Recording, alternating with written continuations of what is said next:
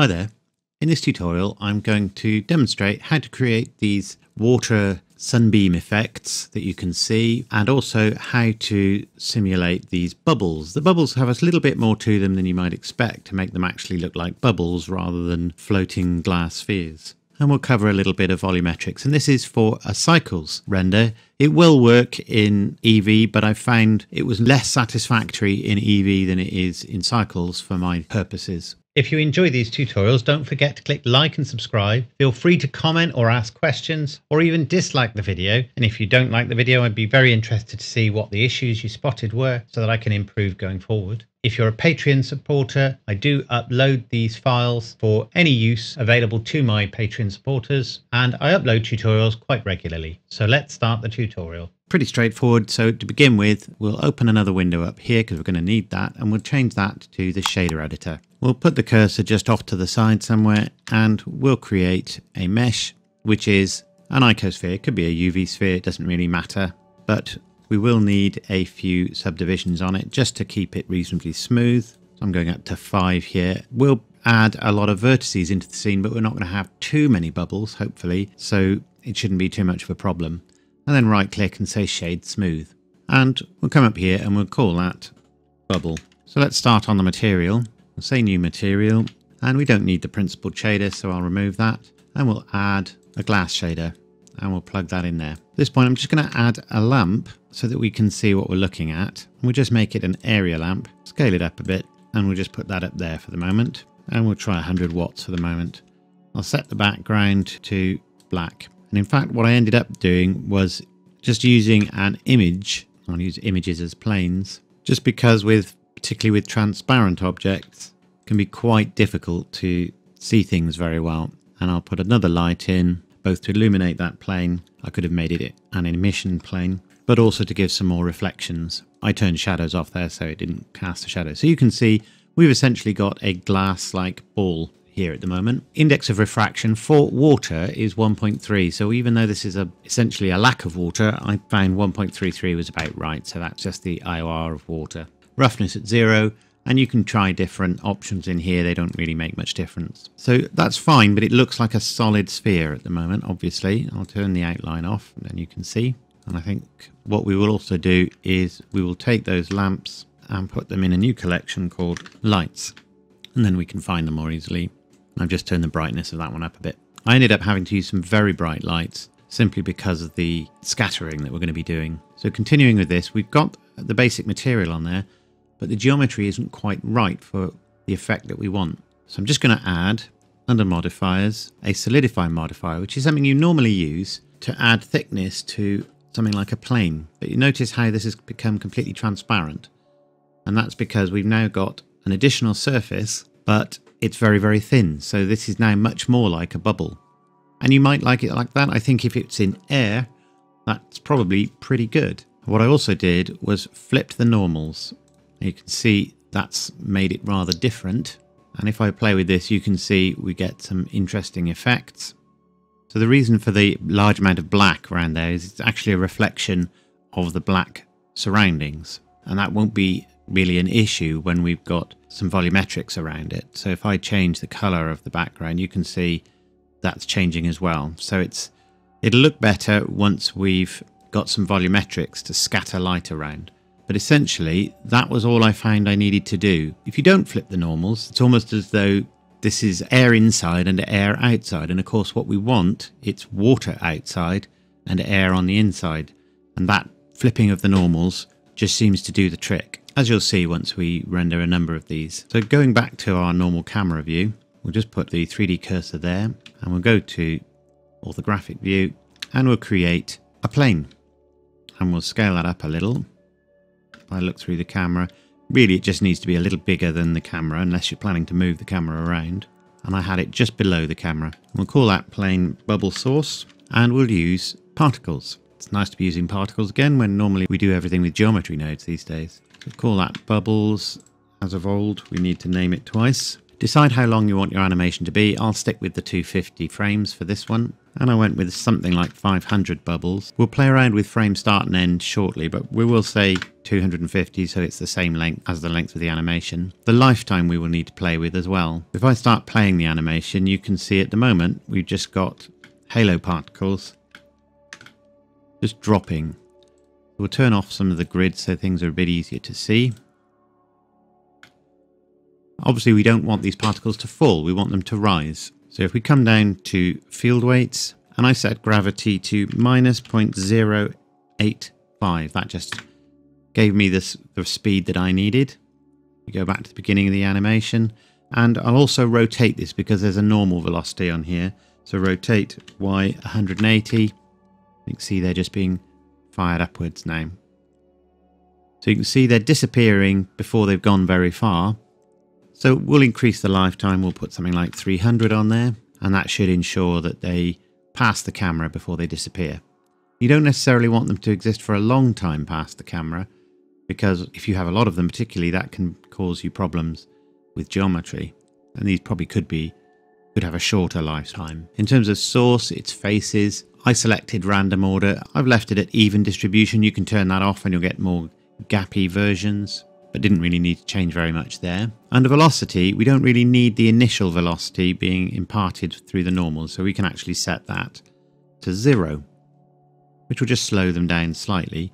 I turned on multiply mass with size under physics because we are going to add a Brownian motion and that might affect that slightly, so the bigger particles would be slightly less affected. So Brownian is a sort of random movement on top of any other movement that the particles have. I started with 0.19, so we'll see how that does. And you can see it's imparted quite a bit more to them. Maybe that's a bit too much, so we'll go with 0.1. I didn't want them moving too quickly.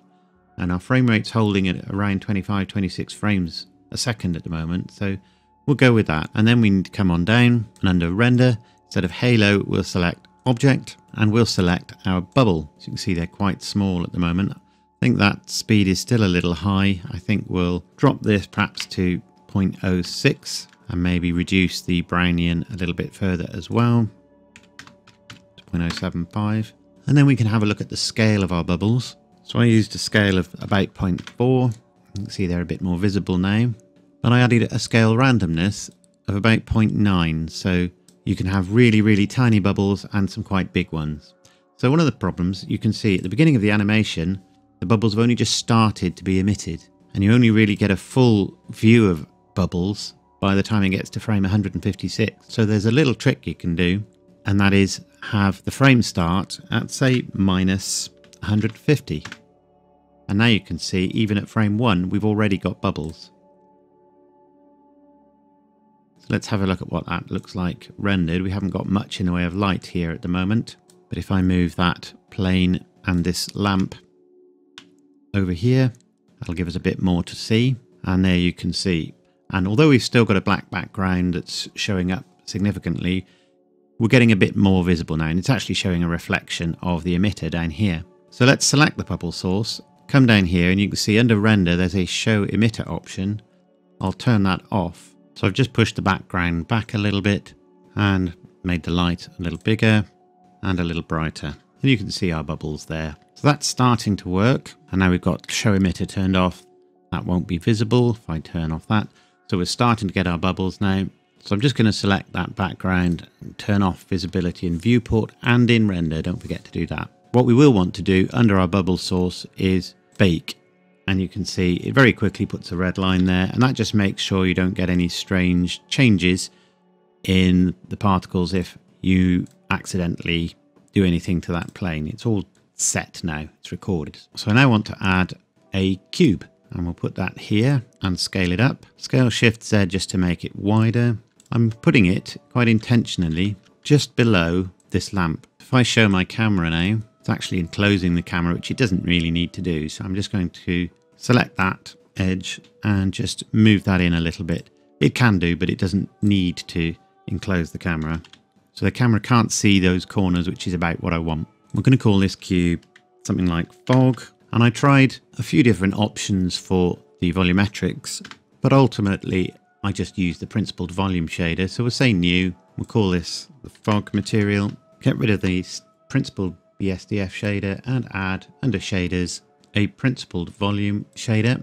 Just plug that in. I set it to initially white and then just a slight blue color. You could go with green or whatever color you want.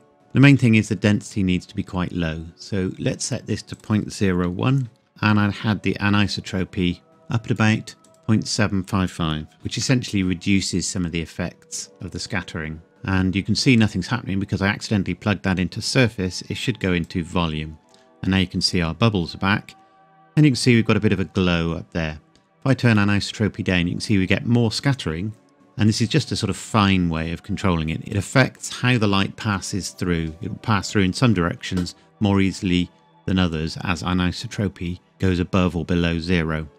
I just used it to give me the contrast that I was looking for. But obviously we haven't got any water effects. We've just got our bubbles rising up through there at the moment. And I'm now going to change the lamp.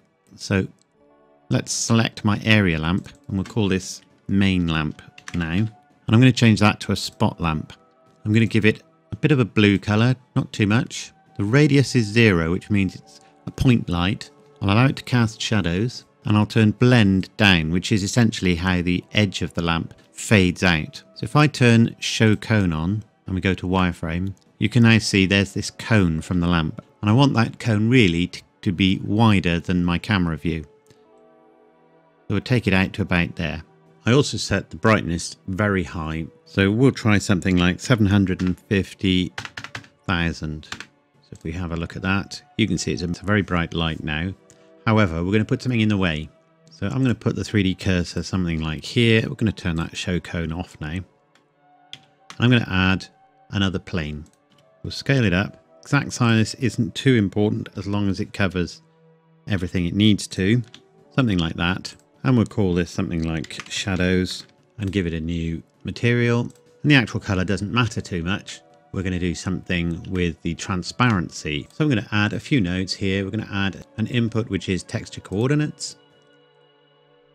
I'm going to add under vector, vector mapping node, and we'll just take the generated output and put that into the vector input. I'm going to add a texture, which is the Musgrave texture. That seemed to be the one that worked for me. And take the vector mapping output into the vector input on there. And then under converter, we're going to add color ramp. Take the Musgrave output into there. And the output of the color ramp goes into the alpha input. So alpha is essentially transparency. And you can see the Musgrave texture is now showing up here in this preview. And we can play around with that. So rather than FBM, I used ridged multifractal and also we'll raise this up to just outside our fog cube. We'll set the scale to something like 60. I had detail at about 1.5 and everything else default. Then flipped the color ramp and pulled the right hand side down quite a long way. Because when you redo these things, sometimes dimensions on scenes change, we may need to play around with this. But you can see as I bring this in, we're getting some interesting effects here. And I change this to cardinal, which just gives you a sharper fall off. So you can see we've just got this sort of squiggly pattern here, which is what I wanted. If we have a look what that's doing, you can now see we've got these sunbeams, as it were, coming through. And if I select my fog, again, we can play around here to just sharpen that up a little bit so it's not quite as overexposed. And we go back to our shadow. And if we move that around, you can see sunbeams, as it were, move around with it, or God rays. So we've now got a means to put these effects in, but we want to show an effect that simulates the idea of the surface of the water moving. So I did two things for that. First of them is to make that pattern change with time. So if we go into Z location, we can type hash frame and press return and we now get a number in there which corresponds to the frame that we're in. But you can see that's changing much too fast. So we want it to be a lot slower than that. So if we click in here again and after the word frame, we'll put divide by 1000. So now it will change much more slowly. And you can see the pattern is evolving. If we have a look what that looks like. I'll just turn the number of samples for the preview down quite a long way and you can see how that's evolving and that might be sufficient You may not want anything more than that because I think that actually does quite a good effect. But if you want to add a sort of wave effect where it's going backwards and forwards, that kind of thing, we can do a little bit extra. But what we can do is actually put a little bit of movement on this plane. So we'll go back to the beginning and we'll just press I and say location and rotation. And then up here, we'll go to the graph editor with the plane still selected and we'll go to modifiers and we'll add a modifier which is the noise modifier. You can see what's happening now is that plane's jiggling around all over the place because we've got both rotation and position being modified. If we open this up, we can disable each of these things so the plane is now static and just decide which ones we want to be affected. We do Alt R, that will reset the initial rotation of the plane and just press I and say location and rotation again. And now if I just turn on Euler, that's probably fine in terms of the direction. We don't want it rotating in any other axis. And then if we turn on Y location and X location, so it's now moving a little on those scales as well. And then we can play around with the actual scale of those rotations. So if we turn that up, I use something like 75. And what you can do is just delete the modifiers for all the others rather than turning them off. But I've kept it on one of them, this one, and I can copy it. So you can see it's working, but it's a little small at the moment. So I'm going to turn that up slightly. You can see that's a bit more movement there now. And we'll just put a random phase on it, which just sets it to a different place in the random curve, basically a different seed. So then I'm going to say copy, go to Y and paste, and just put it in a different phase and a slightly different scale so they won't stay in sync as it were. And then we'll go to Z and we'll paste it in there. And perhaps have the strength a little smaller. So now, as well as the evolving pattern, we've got a cyclic but somewhat random movement as well. So if we have a look at what that looks like, we've got the combination of the two of them evolving this pattern quite significantly. And that's really all there is to this effect. So I hope you found that useful. If you did, let me know. I will upload my original file for my patrons to use for any purpose. Otherwise, I will see you in the next tutorial. Thanks a lot.